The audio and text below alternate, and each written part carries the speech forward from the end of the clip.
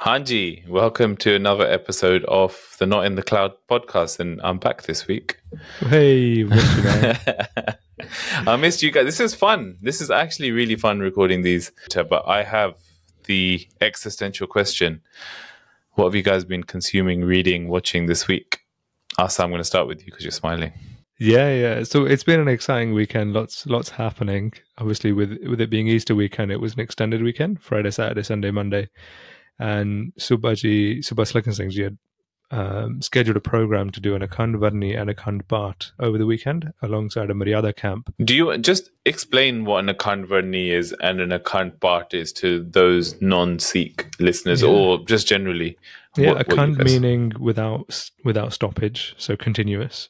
Uh, Varni is the continuous reci- re- recitation of Naam, uh, which Sadhguru Nanak Dev Ji gave us. Um, Vawa being Vishnu, Haha being Hari, Gaga being Gobind, and Rara being Ram. So that continuous recitation over 48 hours. Um, and then Akhand Path is a recitation of the entire Guru Granth Sahib Ji uh, over the course of 48 hours without stoppage. Is that one person, one sitting? So it's not one person. So it takes a whole team. So you've got, you know, you've got the parties. I think there's like at least there was probably ten or fifteen. Um, but there was so much enthusiasm to take part. I think they uh, normally are one roll. So roll being a two-hour stint. Um, normally it's two hours, but because there were, there were so many people wanting to take part, there were some people that um, only managed to sit down for 15 minutes. But even Oh, that, wow. you know, is a huge honor and a privilege to be able to do that. So yeah, loads of people that you know contribute to making this all happen. You've got langris, sevadars, people staying up all night, uh, making sure that people wake up on time to get to their duty.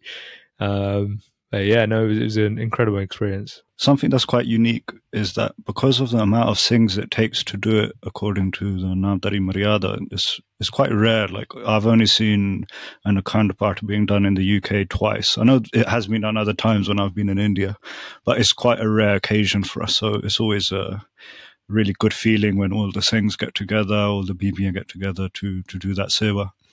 Um, I was looking into it and uh, the, for us, you you can actually you're not even allowed to do the ardas for an Akhand Path until you have seven Singhs for doing the part, seven Singhs for doing the Tupia di Seva. Tupia is uh, we do a Japji Sahib di Varni alongside the Sri Adi Guru Granth Sahib part. Um, and they're looking after the Samagri Tuf and they're looking after the Gita. And the Gita is uh, essentially the old school light bulb um, that uh, obviously back in the day we didn't have electricity. And obviously that tradition has been maintained up until now, even though we do have that electricity out of respect for that tradition. Um, so that is there.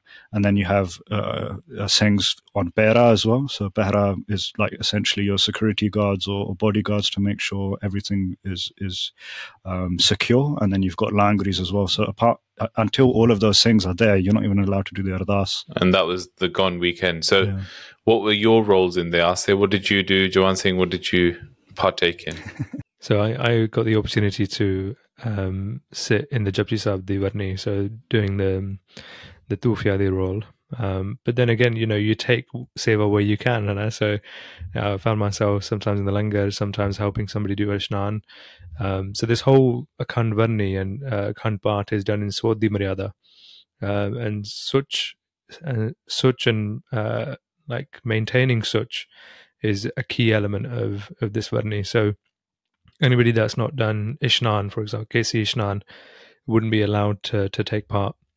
You have to do Kesi Ishnan with with uh, water that's been collected um, and maintained in a certain way, so that it's not had contact with anybody else or anything else. Um, and and so you sort of in the mornings, especially, you'd get somebody warming up the water for you, um, making your life a little bit easier and I think that's been a big experience, especially with with Juan Singh and I, that we've always experienced saw there's being um, a, facet of love because you do it out of love for somebody else. Let me try and make their life easier. Um, I remember I forgot my tooth tabs and I had to I had to borrow some off Juan. Then again, you know, it's that like camaraderie that we've all come together for this one thing. We're here to help and support each other and make um, this experience enjoyable. And just to shed some light on that, you're probably thinking what we're talking about, but um, when it comes to the water that we use, especially when you're in Saud Murayada, we're not allowed to use tap water essentially. So anybody that's uh, used tap water, their shnan is not Parwan for somebody that can sin in the Akhand Path or Varni or Akhand Varni. Um, there's a place in, I think it's Maidstone in Kent that we go where it's running natural spring water. We take steel drums that have been manged with sand and then covered with material so it doesn't touch anything else, so it's not uh, contaminated. That water is then used to create the Amrit. Uh, all of the things, tayar tayar hoke, everybody's done soda ishnan, kada prashad karke. That's also made with soda jal. So every for, for that period of time, we're not using any uh, tap water, and everything's done with uh, as much respect and adab as, as we can do. Going back to Guru Har Hargobind Pashaji's hukum that somebody that doesn't have adab or respect for Gurbani can never be a Sikh of mine.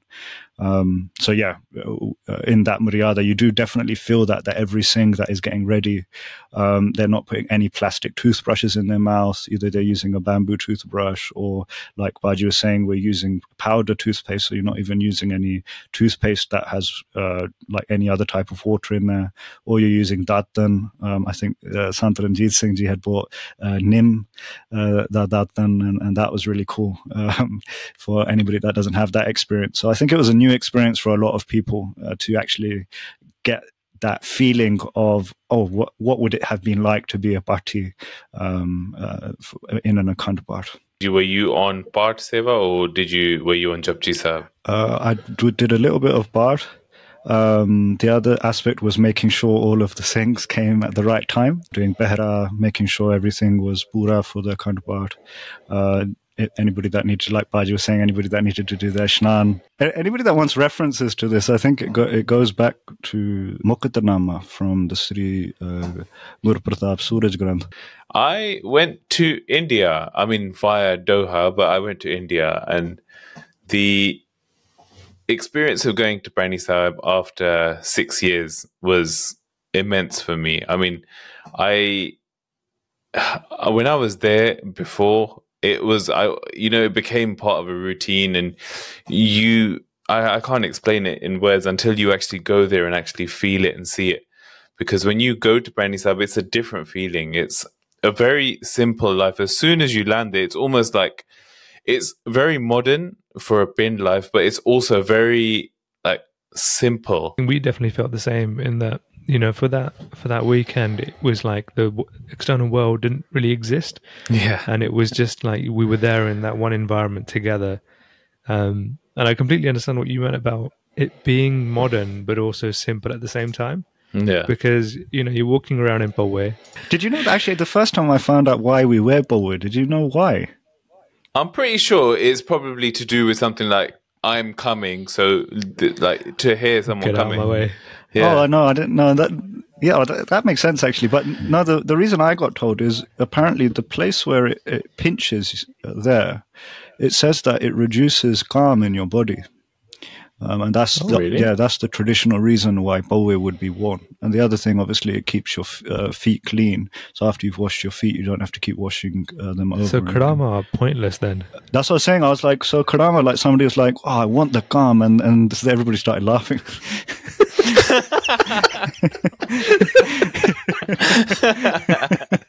um, but yeah, that's just a joke. Um, I think yeah. the, other, the, other, the, other, the other element I think is obviously to keep you grounded, obviously. But yeah, it's more about the wood being connected to the earth instead of it being like rubber or, or leather or all these other materials that are, are considered uh, not pure. I, because when we were in the Langar, so Gursev was also there with us. Gursev, Doctor Gursev, oh, um, he was there as well, and it was it was cool because we bounced like similar feelings of each other in terms of sometimes you know you can be in a place and he suffers from hay fever quite badly and uh, How he did he just, cope in Bhaini Sahib? He did There's like a million flowers everywhere. he, he, was just like, I've had enough. I'm, Being I'm attacked by nature. He was he was in awe of being in that place mm. and also really suffering at the same time, and it was just such a wicked dichotomy. And You can't walk five steps without walking into a plant pot. I know, I know, and yeah. So we So we did you shared. did you were you in Sadhguru Balak Singh Ji's langar or um, did you like did you have a look at the lower langar? Yeah, we were we passed outside. Obviously, when you go around that side, you have Yeah. Sadhguru Pratap Singh Ji, Sadhguru Jagjit Singh Ji's uh, original rooms. You know, even the way it's built is original. The outside is new, so the way Yeah. it looks from the outside, that's all new. Um, Yeah. When uh, did you go upstairs as well? Where Mataji's Yeah, uh, Hanji? yeah, yeah, yeah. So when you go upstairs, that's where Satguru Hari Singh Ji, Otte Sachapasha Ji Braj, this one. Um, Yeah. And that's where Mata Bhupinder Kaur Ji's uh, room is as well. So when I went to Bhaini Sahib last, every morning after the Asadiwar, I used to just walk to Rangyan because one, you get to stretch your legs, and you good know it's a, it's a really nice walk, and it's through beautiful fields. Um, so the first day we got there, we got there in the afternoon ish, about six p.m., and um, there was a divan, and after that we went and we slept, and then in the morning after the Asadiwar, I thought, "Chalo, let's go to Rangya." and it just didn't happen. It just didn't materialize. I think we went for Langar, and then afterwards, I think we were just feeling a bit sleepy. So I think we walked around locally and and maybe caught some sleep. Uh, and then the second day, I had the same thing. I was like, "Jalo, let's go to Adanya." It just didn't happen again. I was just thinking, okay, this is this is not right. Third day, and this is now two days before the Mela starts. The third day, we're walking to the um, Langar and we meet Gursev. And I said to Gursev, Chalo, let's go to Rangyan together. Um, it's a nice walk, stretch our legs. And he goes, Yeah, all right, cool, I'm up for it. He goes, I said to him, Look, we're just gonna go up to our room, I'll put my put my stuff down, um, and then we'll uh, we'll meet at the main gate for this time. Yeah. So I messaged him and said, okay, we're at the main gate. So he goes, you know what, you might want to come towards Akal Bunga. So I go, okay, tika. So we start walking towards Akal Bunga. And Akal Bunga is where Satguru Ram Singh Ji done the tapasya. The outside of the Akal Bunga bit, they're redoing that area. So it's, they're kind of making it a bit more pretty, I guess. Um, so Satguruji were giving darshan there, and uh, sort of Asa Sevak just uh, done an ishara to us to say, just come and follow us, because then they started walking, and it was just the usual walk. And we're walking now, we're walking now, and I'm like, this is Rania Road. I'm pretty sure we're going to end up in Rania. So basically, along with Satguruji, we were lucky enough to, to um, uh, well, follow them to Rania, and they took us to Satguru Ram Singh Ji's Prakash Asthan. And uh, but it was one incident in Rania. So we've just come out of the Asthan, and I think it was either the first house or the second house. I'm not quite sure, but there was a Singh standing there, and he was quite tall, quite like built in terms of like it looked like he he had been gymming. So Satguruji is talking to the Sangat and he's like looking at me and I'm looking at him and I, I said to him, yeah, this our, our eyes met across the garden. Across the Kui. Yeah, and uh, I said to him, "Paji, looks like that. You know, you you like going to the gym. Thoda sareer bahut takda hai." And he goes, "Hanji, hanji, yeah. I've, I follow these influencers on TikTok." Or, and then I said, "Oh, vadiya, yeah, kari- that's really nice." And then he said to me, "I listened to your podcast." And I'm like, what? How did you? Like, he goes, I listened to the the Clouds Wala podcast, or he, and I go, Hanji. I go, yeah. It was really nice. His name was Bharat Singh, um, but he was very supportive. How did you handle the fame, Sarab? Ah, really badly, probably. I just wanted to put my loy over my head and just bury it under the ground. But it was really nice speaking to loads of different people. So that was the first one. That was on like the second or third day. Then afterwards, um, we met a few people along the journey, and I'm really thankful, really grateful to everyone that I met. Uh, I was just reading now that actually the correct number, I said the wrong number, was you need five bhattis, five tupiya piercings, two langaris, and two paradars at all times. Um, so you would have extra things, but that's the things that would be there in terms of the duty. And um, and Satguruji would say that somebody that does this part in Maryada is the same as Sawa Lakh Sadaran part. So Sadaran part for those who who maybe have a different word for it, I think it's been commonized as uh, Saj part in the UK. Baji, I wanted to ask you a question.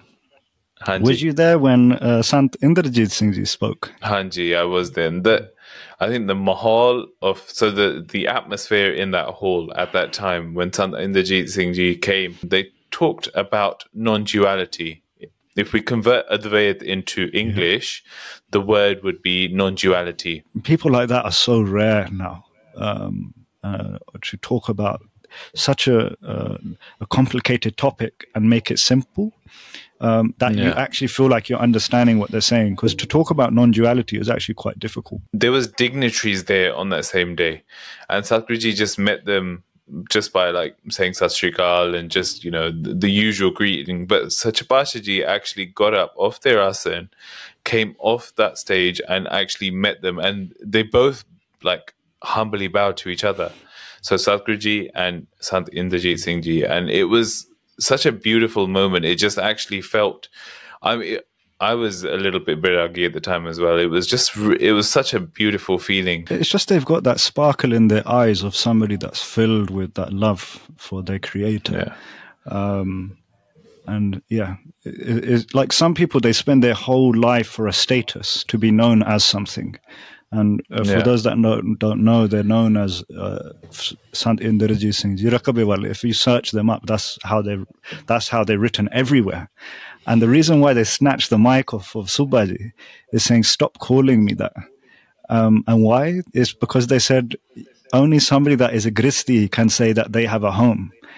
Once you say that I am this, are you not considering me a part of you as well? Um, and and to actually understand that is a very deep thing that they've said. And while they're saying it, vragin, that yeah. do not mere tusi apne vichu menu na sheko. And they're saying mm. satsangata meri jind jana. Um, well, meaning that the satsang is what is keeping me alive, is is what is my life force. The next evening divan was the last evening divan. After that, I had the opportunity to speak to Sachpashi just after the um, Kirtan had finished. So Balwant Ragi, Balwant Paji had sung two Shabads. The second Shabad was Jo Raj Deta Kavan Vadai. But Sachapashaji, in the first minute of meeting there, uh, meeting with them, they said, "How beautiful is the Shabad? Pujo duja naave. Who else should I worship? I see no other."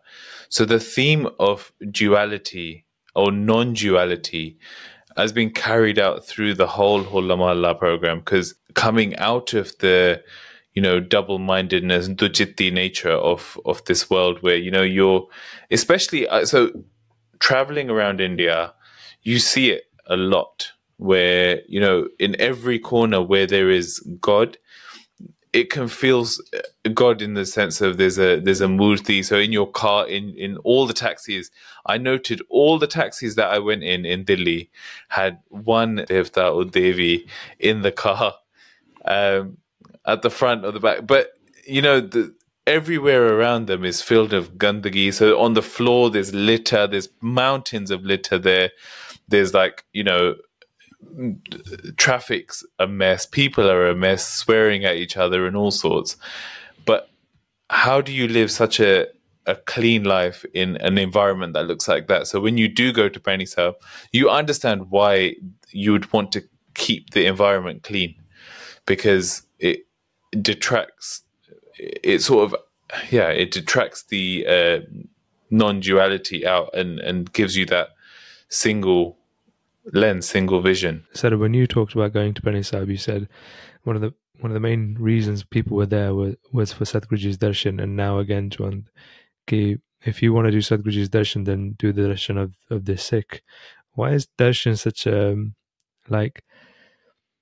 So when Sadhguru Ram Singh Ji was sent to Rangoon, the Gore did the Gore did Sachpashi's darshan. That darshan didn't have didn't have any impact on them. So why is it that when you go to Bhaini Sahib, how, what's the difference? Something that resonates with me is when when you listen to Sadhguru Pratap Singh Ji's Updesh, and one of the things that they said is when you leave your house to go to the Gurdwara or to go anywhere, and you know, even if you don't do an ardas, your icha and what you're feeling and what you're thinking, intention. Um, your intention will materialize. So you will sit there and you you might say, okay, you know, you might do an ardas and say, you know, Sachpachaji, I, would like like your Safal Darshan as Subhaji. mentioned so many times in their ardas, right? I think you've uh, you've uh, encapsulated it. It's Jeha Sadgur Kar Janya, Teho Jeha Sukh Hoye. Eho Sansa Mule Nahi, Pao Lae Jan Koe, Nanak, Ek Jot, Doe Murti, Hoye. In which way you know the Sadguru or your intentions or your um, your mindset or your perception of the Sadguru Deho jeha sukh According to that is the amount of sukh you're going to obtain or the amount of peace or happiness you're going to obtain. There's no doubt about this, that those that love him truly are very rare. Nanaka, ek jot doi murti. That is the same as there being the one jot, meaning the one light, and only the difference is that you are seeing two different forms. Guru Angad Dev Ji was obviously given Guriyai because they became from Lehna, they became Guru Angad Dev Ji. But which Sikh was it that questioned Guru Nanak Dev Ji and, and asked him and said, I've been with you for a, lot more time. Mm. why why didn't I get Guriyai? Uh, I think there's two versions of it. In some scenarios, it's by Mardana ji asking, and in some scenarios, it's by Balaji asking. Um, the one I remember is where Pai Balaji asks. And, okay. Uh, and it's a good connection actually where Pai Balaji asked Guru Angad Dev because Pai Balaji's been with Sadhguruji literally their whole life. Um, yeah. And Guru Angad Dev Sache Ji, I think, what is it, is within the last year, uh, uh, within a year, they, they become. It was a short It was a short amount of time. I don't know the exact amount of time. Um, so yeah, forgive me for that. But it, it's essentially not, it, it wasn't even comparable. Yeah. And when uh, Sadhguruji gives the Gurgadi to uh, Pai Lehna and makes them Angad. Pai Balaji says to Guru Angad Dev Sache Pashaji that uh, I was with Sadhguruji my whole life uh, and now they've made you the Guru. Um, why is this? And Sadhguru Angad Dev Sache Pashaji asks them that what do you, you realize Guru Nanak Dev Ji as? Like, who, who are they for you? Mm. And so he reply, and his reply is, for me, they're Puran Sant. And uh, Sadhguruji, uh, Sadhguruji says, Guru Angad Dev Pasha ji says, you realize them as a Puran Sant, and that's what they've created you. For me, they were a Kalpurk. I think this has been a really cool episode. Asa, did you want to add anything? Because you've been quiet for way too long now. Just the, I wanted to touch upon that love aspect. Um, for a Sikh, that's everything, and like, um, to get to that avastha of have, um, sachi preet. Right? We, we discussed that Shabad ki sachi preet ham tumse jori. What does sachi preet, what does true love actually look like? Tumse jor avar sangatori. If, if uh, Guru Angad Dev Ji became the second Nanak, it was because for them there was nobody else left. And it was Nanak hi reh And that's what they became. Um, but I think reflecting on my life, you know, love love bounces from one to the other, and you you have expectations and mm. um, uh, hopes on on different people in life. Unne meri madad karni hai, or he helped me do this, and unne bada help kita mera. But you forget who the you know the data ek hai. You forget all of that stuff. Sachi preet, uh, it's all uh, fragmented across different people, isn't it? The songbird loves the sun shining in her face. Uh, and talking about uh, that female energy meeting their husband, Lord, uh, all of their pains are uh, are removed. Gursik Priyat Guru Mukhalag, meaning when their guru, mm-hmm. when the mm. Gursik sees the face of their guru. And it, again, it says, Bachare Mukha The calf loves to uh, have the milk of of their mother. Hirde. And the, the mother, uh, upon seeing the mother, the Barsha, the, the, uh, the Bachare, the, uh, on seeing his mother become so happy. Gursik Priyat Guru Mukha that the same way the Gursik, the, the way they, when they see the Guru's face. Do you know what's really interesting is the way that Gurbani has been written, in the sense that it's been written from a female perspective. Mm. And if you take, because there's loads of examples about how um, the Almighty is my husband, Lord, I know, and, and I'm separated from Him. Um, and if you look at the relationship between a husband and a wife, just as a as a metaphor, in this union of a husband and a wife, if you take if you take the husband away, a wife isn't a wife anymore. she's an individual now, right? Yeah. And even the other way around, where Govinda Pao, Bhagat Kapukha. Meaning it's this it's this game that is is is happening. Um, what Asapaji is saying is is that there's the wife does not want to be without the husband lord, and the husband lord mm. does not want to be without their their wife. it's like this game that is going both ways. Wait, this is a metaphor for a Sikh and a guru. Actually, and that darshan thing as well, Sarab.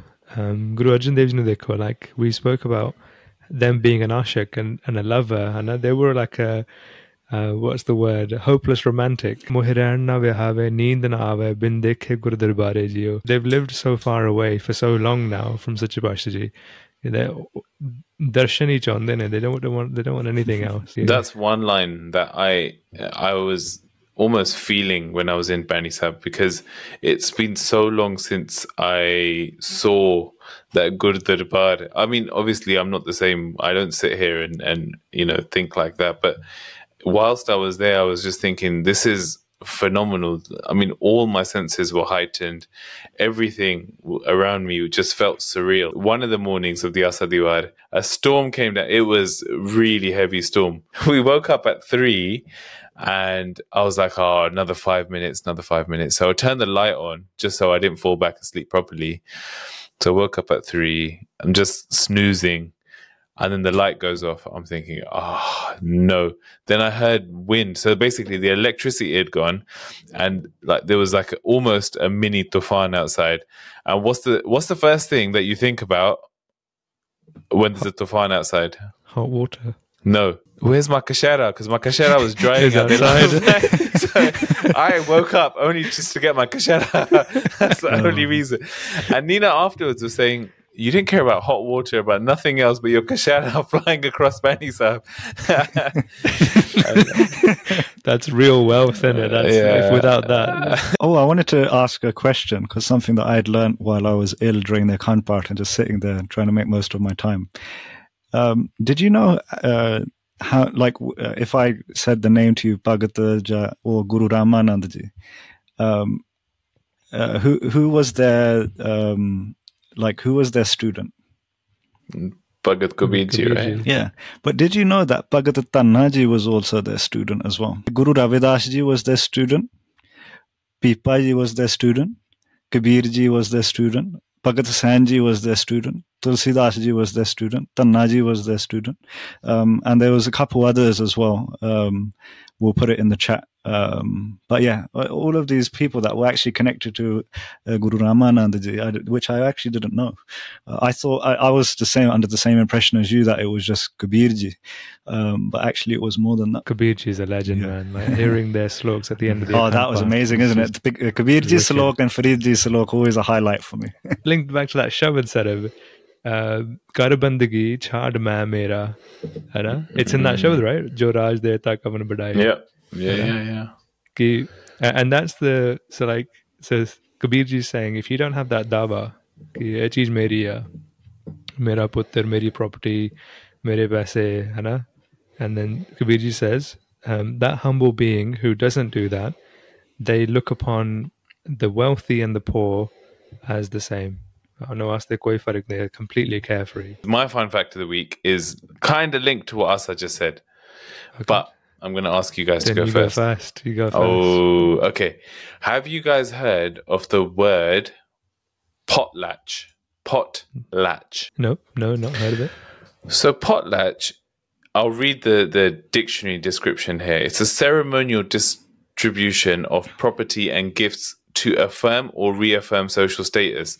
So I heard this in a Jordan Peterson and Joe Rogan podcast where uh, Jordan Peterson's describing this. And the way he describes it is back in, uh, I think it was uh, 1800s in America, North America, um, the wealthy would throw these like banquets and feasts. And the bigger they were and the more money they spent, the more sort of uh, status they had, and it was to sh- it, they were respected more. Not not in the sense that oh it, eh, they've fed everyone and now everyone should be. It's because they distributed their wealth that way. So they would give gifts, they would have these big feasts, and it's almost you know, it's humbling to think that that philosophy was in different parts of the world because we we've got it with sort of langar and we've also got it with other things. Why are you laughing, Asa? I'm laughing because it reminded me of the conservative um, thingy about trickle down economics.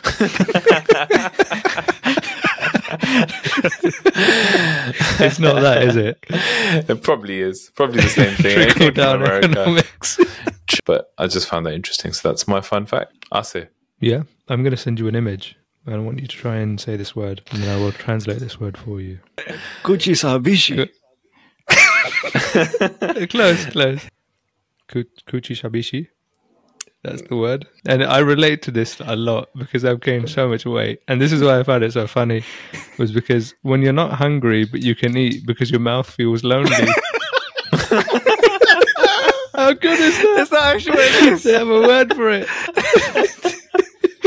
oh man, oh, but that's brilliant that they have a word. Well, I have a friend, and every time you say to him, "Are you hungry?" he the answer he gives is, "I can eat." it's not. That, it's not that you can't eat or you're not hungry.